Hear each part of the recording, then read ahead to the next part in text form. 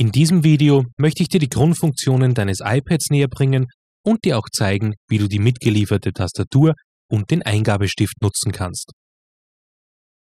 Nachdem du dein iPad rechts oben mit dem Einschaltknopf eingeschalten hast, indem du den Einschaltknopf etwas länger drückst, wirst du schon vom Sperrbildschirm begrüßt. Wenn du Touch ID eingerichtet hast, legst du nun den Finger, den du registriert hast, auf den Home-Button und drückst den Home-Button. Dadurch wird dein iPad entsperrt.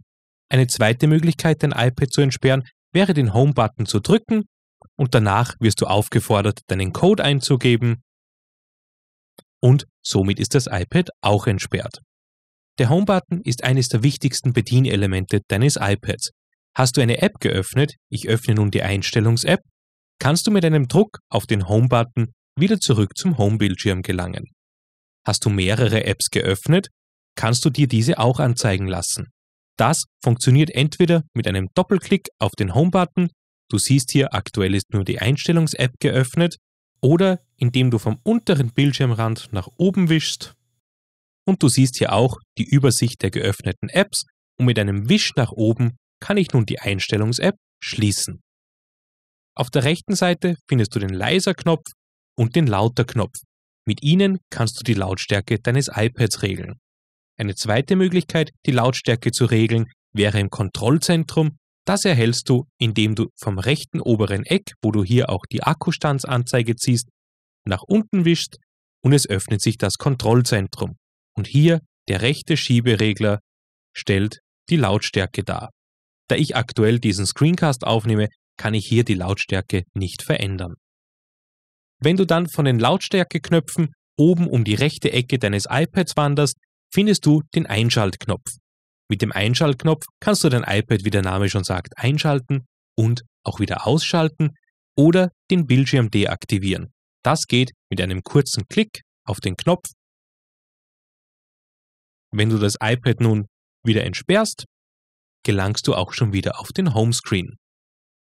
Das letzte Bedienelement ist am linken oberen Eck der Kopfhöreranschluss. Hier kannst du kabelgebundene Kopfhörer anschließen und diese mit deinem iPad nutzen.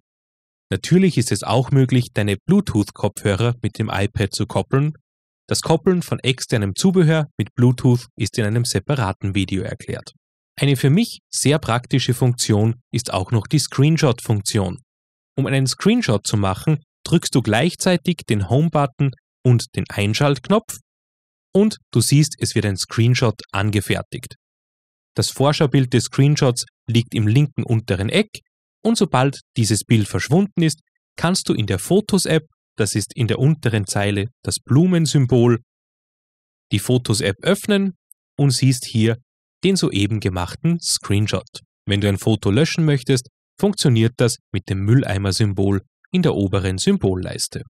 Möchte ich wieder zurück auf den Homescreen, funktioniert das mit einem einfachen Klick auf den Home-Button. Und zu guter Letzt möchte ich die aktuell geöffneten Apps noch schließen, daher klicke ich wieder doppelt auf meinen Homescreen und schließe noch die Fotos-App. Mit deinem iPad hast du ja auch eine externe Tastatur, und einen Eingabestift erhalten. Diese beiden Elemente möchten wir nun mit dem iPad nutzen. Um die Tastatur mit deinem iPad koppeln zu können, wechselst du in die Einstellungs-App und dort zum Menüpunkt Bluetooth. Du siehst, es wird bereits nach Geräten gesucht und jetzt aktivierst du deine Tastatur, indem du den Schieberegler von Off auf On stellst und dann auf den Knopf Connect drückst. Es sollte nun die blaue Bluetooth-Lampe auf deiner Tastatur zu blinken beginnen und wie du siehst, mein iPad hat bereits das Just Edu Keyboard gefunden und mit einem Tipp darauf wird dieses Keyboard nun gekoppelt. Ich bestätige die Koppelung nun noch mit einem Tipp auf Pair und ab sofort sind das iPad und deine Tastatur gekoppelt. Möchtest du also das nächste Mal deine Tastatur verwenden, musst du sie nur einschalten und sie verbindet sich automatisch mit deinem iPad da wir die beiden Geräte ja nun soeben gekoppelt haben. Wenn du die Tastatur nicht nutzt, würde ich dir empfehlen, dass du sie immer ausschaltest. Erstens hält dann natürlich der Akku deiner Tastatur länger und zweitens funktioniert dann auch das On-Screen-Keyboard deines iPads problemlos. Als nächstes möchte ich nun noch den Eingabestift mit dem iPad verwenden. Der Eingabestift muss nicht separat mit deinem iPad gekoppelt werden. Du musst ihn nur am Stiftende mit dem Druckknopf einschalten und er zeigt dir seine Funktionsfähigkeit mit dem eingeschalteten Lämpchen.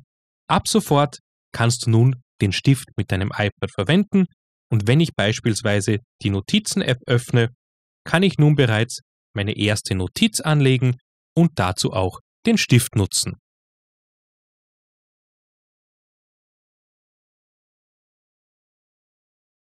Benötigst du den Stift nicht mehr, kannst du ihn natürlich auch wieder ausschalten. Ist der Stift ausgeschalten, kannst du ihn auf deinem iPad nicht verwenden. Er muss also immer eingeschalten sein, um auf dem iPad schreiben zu können.